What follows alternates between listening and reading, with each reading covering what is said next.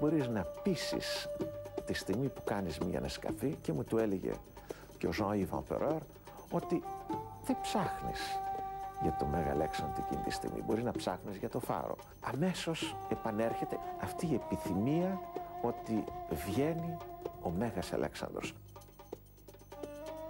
Ένας μύθος ο οποίος ανακάτεψε και ταλαιπώρησε και τους αρχαιολόγους ξεκινάει από έναν Έλληνα. Το 1851 ο Αμβρόσιος Σκυλίτσης της μετέπειτα μεγάλης οικογένειας των Σκυλίτσιδων τότε ήταν δραγωμάνος, δηλαδή διερμηνέας στο προξενείο το ρωσικό έρχεται με μια φανταστική ιστορία. Φαίνεται είχε διαβάσει τον Δίωνα τον Κάσιο που περιγράφει την ταφή του Μέγα Αλέξανδρου και λέει ότι με μια ομάδα διακεκριμένων επισκεπτών κατέβηκα στα υπόγεια του τζαμιού του Νάμπι Ντανιέλ το οποίο είναι στο κέντρο της πόλης και εκεί από μία πόρτα πολύ παλιά ξύλινη σαρακοφαγωμένη είδα ένα σώμα βαλσαμωμένο μέσα σε μία γυάλινη λάρνακα και γύρω ήτανε πάπυρη και φορούσε χρυσό στεφάνι στο κεφάλι. μόνο το γεγονός ότι αναφέρθηκε σε πάπυρους ο παραμυθάς, ο Σκυλίτσης, είναι κάτι που κάνει τον αρχαιολόγο να γελάσει, γιατί δεν διατηρήθηκε κανένας πάπυρος στην Αλεξάνδρεια, είναι η υγρασία τέτοια που δεν σώζεται ε, πάπυρο στην ε, Αλεξάνδρεια. Και όμως, γενιές αρχαιολόγοι ερωτοτροπούν με αυτό το σημείο. Ο Σλίμαν κάποια χρόνια μετά, ο μεγάλος ο Σλίμαν, ο οποίος ήδη είχε βρει την τρία και ε, έψαχνε τι άλλο μπορούσε να τον δοξάσει, κατέβηκε και ζήτησε την άδεια να σκάψει κάτω από το τζαμί του Νάμπι Ντανιέλ. Δεν του δώσανε την άδεια και έφυγε λέγοντας ότι δεν υπάρχει τίποτα άλλο ενδιαφέρον με τη βεβαιότητα ότι εκεί κάτω ήταν ο τάφος του Μεγαλέξανδρου. Και κάποιοι αρχαιολόγοι, σπουδαίοι Ιταλοί αρχαιολόγοι, ο Μπρέτσια, ο Αντριάνι, ο Μπότι, κάνανε τομές γύρω από αυτό το, το τζαμί. Για πολύ καιρό δεν επιτρέπανε να κατέβει κανένας στο τζαμί αυτό γιατί δίπλα ήταν βασιλική τάφη της δυναστείας του Μοχάμεντ Άλλη. Μετά την επανάσταση του Νάσερ δόθηκε η άδεια σε μια πολωνική αποστολή συγκεκριμένα το 1960 σπουδαίοι Πολωνοί αρχαιολόγοι αρχίσανε να σκάβουν γύρω σε εκείνη την περιοχή και συνεχίζονται ακόμα για να σκαφές. Δεν βρέθηκε τίποτα. Το μόνο σοβαρό σημείο που θα μπορούσε να αποτελέσει αντικείμενο μιας επιστημονικής αναζήτησης είναι η κρύπτη του τζαμιού του Νάμπι Ντανιέλ. Βρίσκεται στο κέντρο της Αλεξάνδρειας και στο ιστορικό κέντρο της σημερινής πόλης αλλά ακόμα και στο κέντρο της αρχαίας Αλεξάνδρειας όπου οι πηγές λένε ότι εκεί ήταν η ταφή του Μεγαλέξανδρου. Είναι ενδεχομένως το μόνο σημείο που δεν έχει ανασκαφεί. Την Αλεξάνδρα ευκαιριακά με σωστικές έρευνες λίγο πολύ έχει, την έχουν ανασκάψει. Με τρόπο όχι πάντα σωστό. Καμιά φορά οι μπουλντόζες ψάχνουν πριν φτάσει ο αρχαιολόγος. Εκείνο το σημείο έχει μια περίεργη γερότητα. Γιατί θέλησαν σε αυτό το τζαμί να ταφούνε μπέλη της βασιλικής οικογένειας του Μωαμεντάλη. Έρχομαι στην πρόσφατη ιστορία. Γιατί εκεί θάβανε τα νεογέννητα και ήταν πάρα πολλά πριγκυπόπουλα. Εκεί είναι ένα ειδικό μνημείο που θάβανε τα παιδάκια τα οποία δεν προλάβαναν να είναι παιδάκια. Κάποιες μέρες ζούσαν. Γιατί θάψανε τον Σαΐτ Πασά.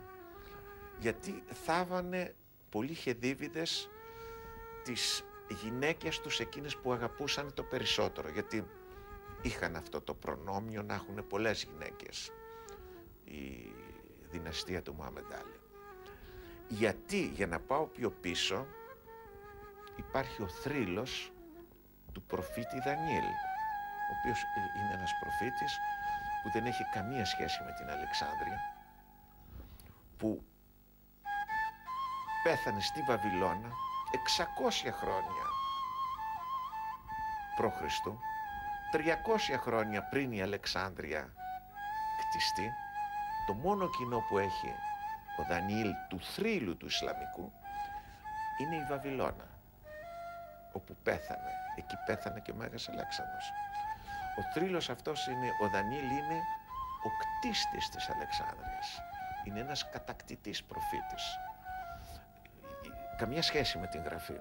Γι' αυτός ο θρύλος εμπεδώνεται από τρεις ε, Άραβες ιστορικούς του 10ου αιώνα, επαναλαμβάνεται από τον Μασούντι τον 15ο αιώνα και είναι η ιστορία του Μεγαλέξανδρου.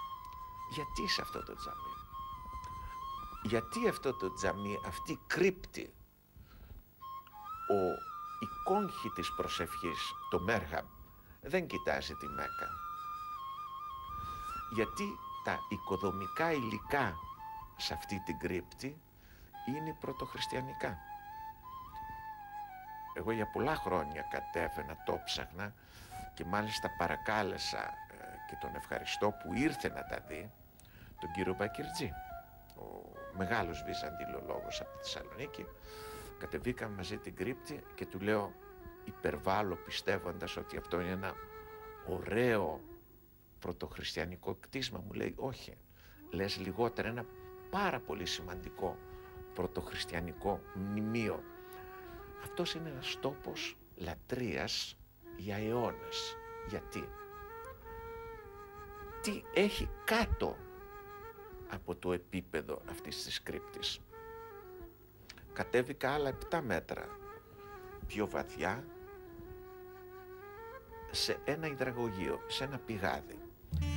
Και όταν έφτασα στο βυθό, πιστεύοντας ότι ε, θα βρεθώ στον υδροφόρο ορίζοντα, περιέργως, ε, ούτε ο υδροφόρος ορίζοντας ήταν εκεί, ούτε η Πτολεμαϊκή Αλεξανδρίκα, μία ρωμαϊκή κολόνα, η οποία στηρίζει ε, ένα τόξο τι έχει εκεί κάτω; Γιατί απαγορεύτηκε κάθε έρευνα σε όλη αυτή την περιοχή; Ε, ζήτησα την άδεια από τις Αιγυπτιακές Αρχές όχι πιστεύοντας ε, ότι εκείνο τάφος του Μεγαλέξανδρου δεν θα αισθανόμουν καλά παρέα με κάποιους ε, εφάνταστους συμπαθητικούς ή αντιπαθητικούς οι οποίοι ψάχνουν για τον τάφο, ε, μακριά από μένα ε, τέτοιες σκέψεις, δεν πιστεύω ότι είναι ο τάφος, πρέπει να ερευνηθεί το γιατί